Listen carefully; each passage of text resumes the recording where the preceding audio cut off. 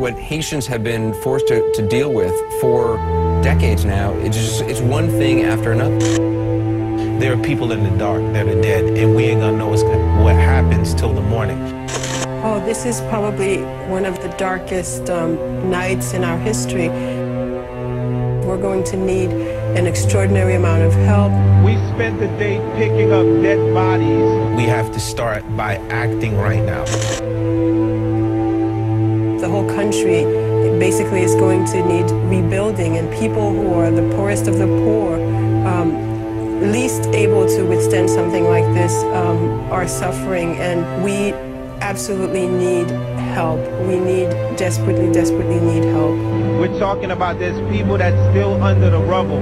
There's at least has to be four to 500,000 people that is about to die.